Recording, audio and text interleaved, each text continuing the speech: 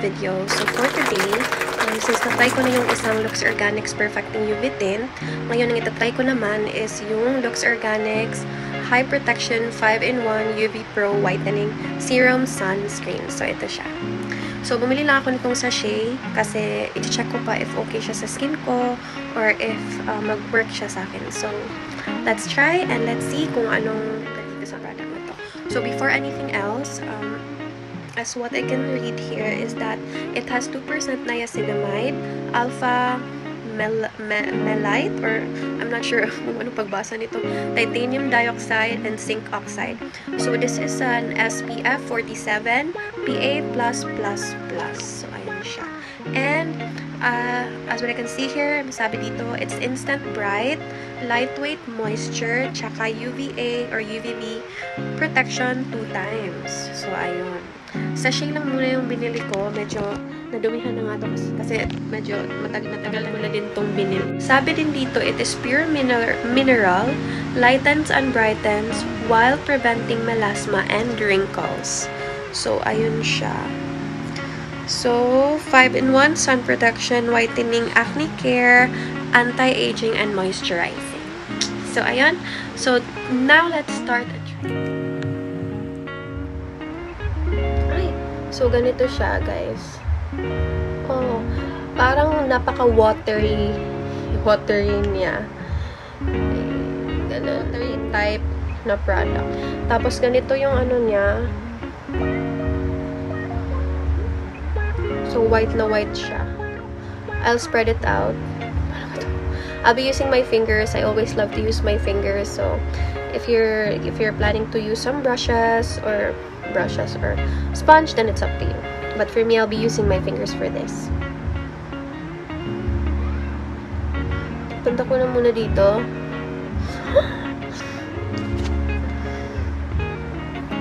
Hmm.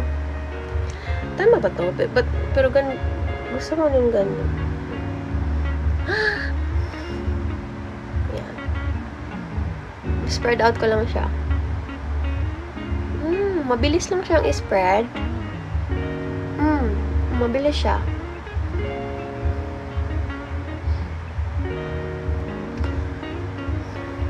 Okay. So, yung kaibahan nila sa pink is yung pink napaka-tinted. Ito, blur niya yung ano, yung ibang scars ko, tsaka yung mga blemishes ko, nabiblur, nabiblur din niya. Pero hindi masyado same sa yung pink na tinted sunscreen.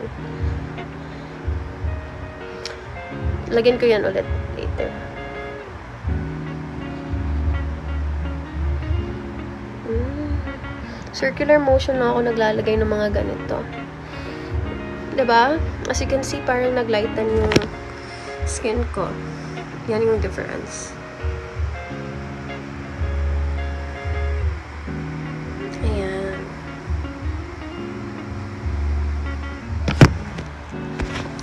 Naglighten yung bandang dito ko. And then yung sa upper is medyo dark pa siya. Then I'll spread it out. Ayan siya. Transfer na natin ito. Ayan. May mas clear, clear view na ako dito. So, ganun. Mhm. Itutuloy ko siya. So, yeah, medyo raw lang talaga yung mga vlogs natin, guys. Kasi I have two kutings. They're, they're actually sleeping. So, nakapag, nakakapag-vlog ako kapag natutulog sila or pag may help ako from other people na mag-alaga sa kanila. So, ayun. Um, I'll continue to spread this.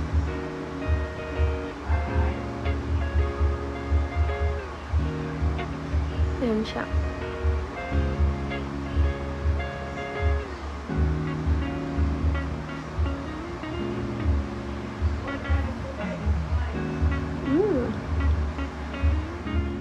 The good thing about this product? Eh, yung look niya kasi is parang glass skin.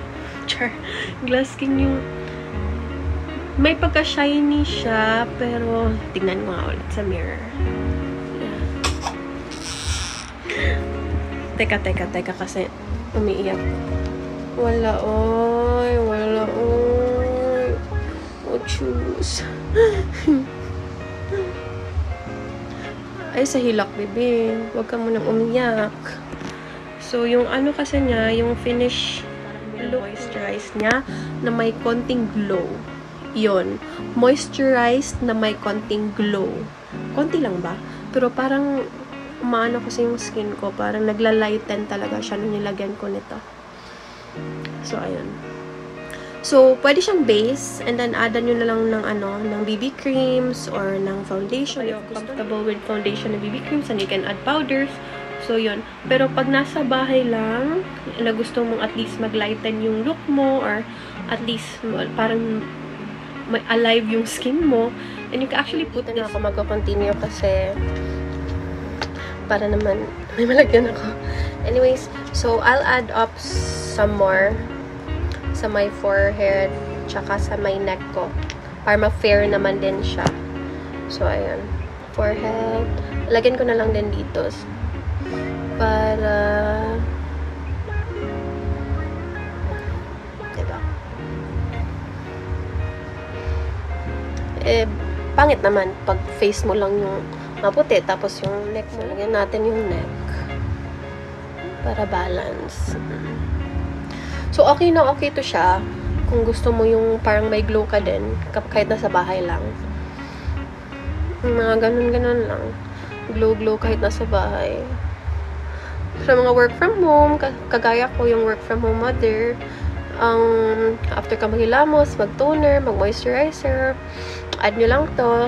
At least may glow konti sa mukha nyo kasi it, it really whitens. Your skin din naman. May difference talaga pag nilagay mo siya. So, hindi lang siya yung, kasi na-try, may na-try na din akong ano eh. May na-try na din akong like sunscreen na water-based lang kaso para lang talaga siyang wala kang nilagay kasi hindi naglo yung skin mo, hindi nag hindi pumuputi. So at least ito um parang wala kang nilagay sa skin mo. Parang hindi ko ano paano ba mag-explain. If na-try nyo, if na-try nyo na yung ano, yung mga lotion na very sticky, ito hindi, parang wala kang nilagay, it's not heavy, or anything, it's easy to spread. So, walang problema. It just, it's just that it whitens your skin and then it makes your skin glow. So, it's good if ever you work from home or it's good if ever nanay ka na nasa bahay lang. So, it's really good. Hindi siya OA, yung pagka-tinted, kasi it really just whitens. So, ayun. And, yeah, of course, um, sabayan din natin yan ng ano, ng kilay, kilay. So, sabayan natin ng kilay-kilay.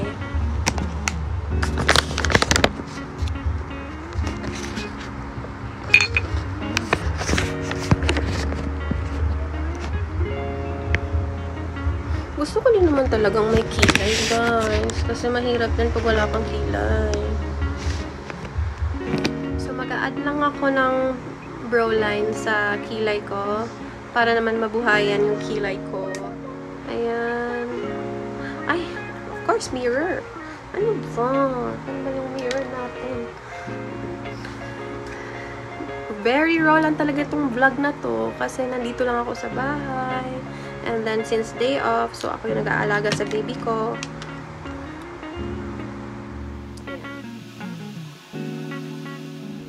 Parang wala. Add lang natin ng kilay kaunti. Para naman maging alive yung kilay natin. So, ayan. May kilay na tayo. Atin lang yung spread, spread. Uy, in fairness ha, parang nag-glow yung skin ko bigla. Kanina, parang ang ang tamlay ko, nawala akong ano, hindi alive yung skin ko. Ngayon, at least naman, nag-glow-glow naman din siya kaunti. Ayoko na mag-blush on since nandito lang naman ako sa bahay. So, no need to put makeup and blush ons. And, may narinig din ako before yung sa mga vlogs na even kahit nasa bahay ka, you need to use uh, sunscreen. Alam nyo naman sa bahay, ba, madaming salamin and ayaw naman din natin na nag-aalaga tayo ng bata tapos ang tsaka pa natin. So, parang at least naman may kaunting glow naman din yung skin natin. So, yeah. Mag-a-add ako nitong lip cream. I'll put some.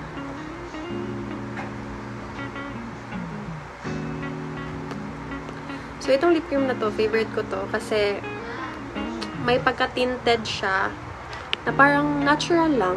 So, binigay to ng cousin ko galing Japan. I'm not sure anong brand nito, pero ang ganda-ganda niya.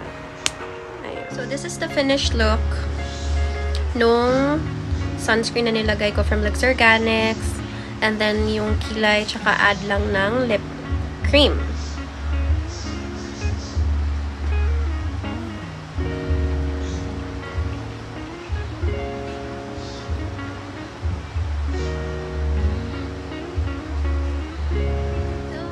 Final say about this product is yes, yes, yes, charot.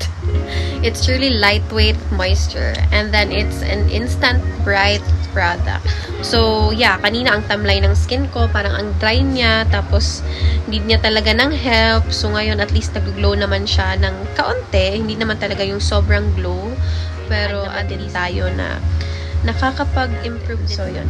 So it's very good whenever you're at home or whenever you will use this as a base since if ever there are things or products that you you you wanted to use aside from this one it's very good. Kasi hindi siya masyadong tinted though nag-whiten siya.